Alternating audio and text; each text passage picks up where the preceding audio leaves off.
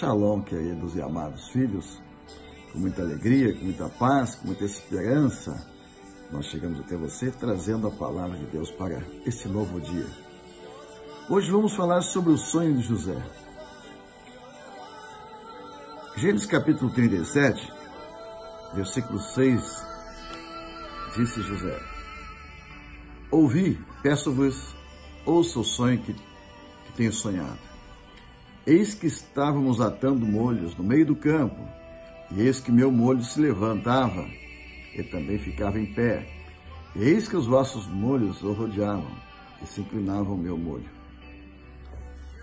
Verso 8 diz, Então lhes disseram seus irmãos, Tu, pois, deverias é, reinar sobre nós, tu deverias ter domínio sobre nós, por isso ainda mais odiavam por seus sonhos e por suas palavras. Ultimamente nós temos estudado sobre ouvir a voz de Deus. E uma das formas que Deus fala conosco é através dos sonhos.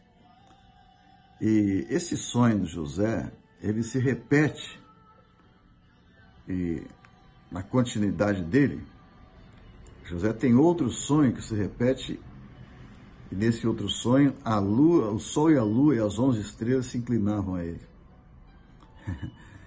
e, e repreendeu seu pai e disse que sonho que tivesse porventura, viremos eu e tua mãe e teus irmãos inclinar-nos perante ti em terra. Bem, aqui está muito claro que tanto José como seus irmãos, como seu pai, ele sabia muito bem é, interpretar sonhos, né? Todos sabiam entender, é, todos sabiam o que significava o sonho de José, né?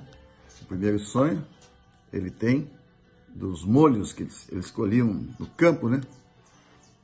E molhos de trigo que eles colhiam, e José sonha que onze molhos se dobravam para, para ele e ele se levantava, dando a entender que ele seria líder de seus irmãos, ou que seus irmãos um dia iriam dobrar-se para ele.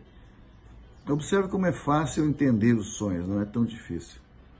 É uma figura, uma imagem, e que traz uma mensagem. Então Deus fala exatamente através de sonhos. Muitas vezes, muitas vezes nossos sonhos não são sonhos de Deus. Mas o sonho de Deus, ele tem uma característica. Uma delas é repetir-se de uma forma é, diferente, mas o mesmo sonho. E na segunda vez que José sonhou, ele viu o sol e a lua, as onze estrelas se inclinavam para ele. Então, já não eram molhos de, de, trigo, mas agora já eram pessoas. Então aí está uma confirmação, esse é um sonho que traz uma mensagem. Amados, nós precisamos aprender a discernir a voz de Deus. E é muito importante que você converse com seus irmãos sobre esta forma de Deus falar conosco. Nessa semana, nosso desafio é debater em família esta forma de Deus conversar conosco. Queria desafiar você a levar e contar teus sonhos. Sonhos que você tem há muito tempo. Mas conte somente para aquelas pessoas que vão te ajudar a realizar o sonho, não vão querer abortar teu sonho. E você vai, dessa forma, aprendendo a discernir quando Deus fala conosco. Amém? Vamos orar? Pai amado, poderoso Deus, em nome de Jesus, nós queremos hoje te apresentar cada pessoa, cada filho que tem tido sonhos e o Senhor tem falado através de sonhos. Nós pedimos que o Senhor venha nos ensinar e ensinar teus filhos a discernir o sonho que o Senhor tem dado. Esta forma como o Senhor tem falado, venha dar a graça, Senhor, de discernirmos e aprendermos a alimentar os nossos sonhos.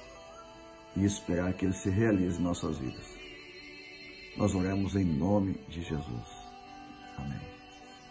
Que Deus te abençoe.